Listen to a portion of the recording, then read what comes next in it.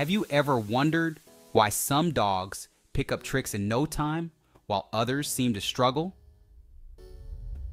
What if I told you that understanding the science of dog training could revolutionize your relationship with your furry friend? You'll want to stick around to the end as we uncover the secrets of canine learning, debunk common myths, and share proven tips to make your training sessions more effective than ever. To train our dogs effectively, we first need to understand how they learn. Dogs, like humans, learn through a process called conditioning. There are two main types classical conditioning, where dogs associate a neutral stimulus with a significant one, and operant conditioning, where behaviors are influenced by their consequences. Let's break this down a bit more. Classical conditioning is famously illustrated by Ivan Pavlov's experiments with dogs, where he rang a bell before feeding them. Over time, the dogs began to salivate at the sound of the bell, even when no food was presented.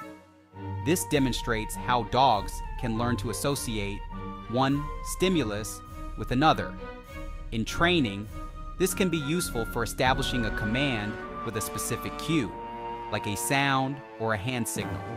For example, if you consistently use a clicker sound when your dog performs a desired behavior, they will begin to associate the click with a reward. This can be a powerful tool in your training arsenal. Today, we'll focus on operant conditioning, which is the foundation of most dog training techniques.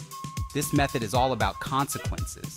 When a dog performs a behavior, they receive a consequence that can either reinforce or discourage that behavior. Let's dive into the core concepts of reinforcement. Positive reinforcement means adding something pleasant to encourage a behavior. For example, when your dog sits on command and you reward them with a treat, you're reinforcing that behavior. This method not only encourages the desired behavior, but also strengthens the bond between you and your dog. On the flip side, negative reinforcement involves removing something unpleasant to promote a behavior. For instance, if you stop pulling on the leash when your dog stops pulling, you're using negative reinforcement. However, it's important to clarify that negative reinforcement is not the same as punishment. Punishment aims to decrease a behavior, while negative reinforcement seeks to increase a behavior by removing an aversive condition. While both methods can be effective, positive reinforcement is generally more enjoyable for both you and your dog. It creates a positive learning environment and encourages your dog to engage with you. Now, let's make your training sessions as effective as possible. Here are some key tips. Keep it short and fun. Aim for sessions of just 5 to 10 minutes. Dogs have short attention spans, so you want to keep them engaged and end on a high note. You can have multiple short sessions throughout the day rather than one long session. For example, try a quick training session before meals or during playtime. Use high value rewards. Treats or toys that your dog loves can make a big difference, especially when teaching new behaviors. Experiment with different rewards to see what motivates your dog the most. For some dogs, a favorite toy might be more enticing than treats. You could even try using small pieces of cooked chicken or cheese as high value treats during training. Be consistent. Ensure everyone in your household uses the same commands and techniques. Consistency helps your dog learn faster. If one person uses sit and another uses sit down, it can confuse your dog. Create a training manual for your family members to ensure everyone is on the same page. Practice patience. Every dog learns at their own pace. Celebrate small victories and stay positive. If your dog doesn't get a command right away, don't get frustrated. Instead, try to understand what they might be struggling with and adjust your approach. For example, if your dog is having trouble with stay, start with shorter durations before gradually increasing the time. Incorporate play. Make training a game. Use toys or playtime as rewards. This not only makes training more enjoyable, but also reinforces the idea that learning is fun. For instance, after a successful training session, engage your dog in a game of fetch or tug of war.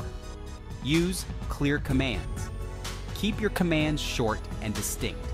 Dogs respond better to one or two syllable words. Instead of saying, come here, simply say, come. This clarity helps your dog understand what you expect from them. Vary your training locations. Dogs can get used to training in one location, so try varying the environment.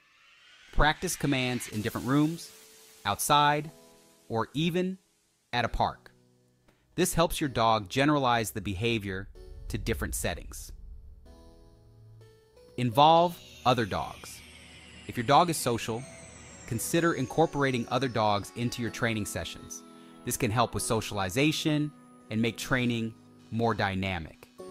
Just ensure that all dogs involved are well behaved and comfortable with each other.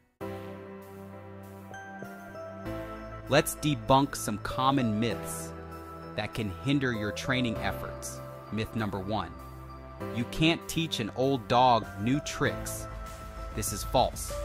Older dogs can learn. It just may take a bit more time and patience. In fact, Older dogs often have a wealth of experience and may be more eager to please. Myth number two using treats is bribery. In reality, treats are a valuable tool for reinforcement, not bribery. Over time, you can phase out treats and rely on praise or toys. The goal is to make the behavior habitual. Myth number three some breeds are untrainable. While certain breeds may be more challenging due to their instincts, with the right approach, any dog can learn. It's essential to understand your dog's breed traits and tailor your training accordingly.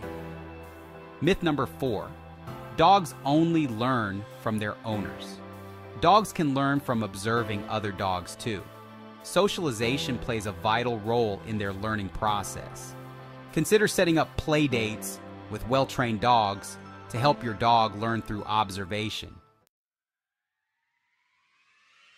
Training is an ongoing journey, not a destination.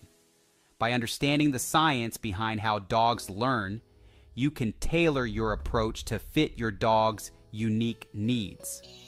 Remember, the bond you build during training is just as important as the skills you teach. If you found this video helpful, Please give it a thumbs up and subscribe for more insights into the world of dogs. Keep learning, keep training, and most importantly, keep having fun with your furry friend. We'd love to hear about your training successes or challenges in the comments below. Share your stories and tips with our community.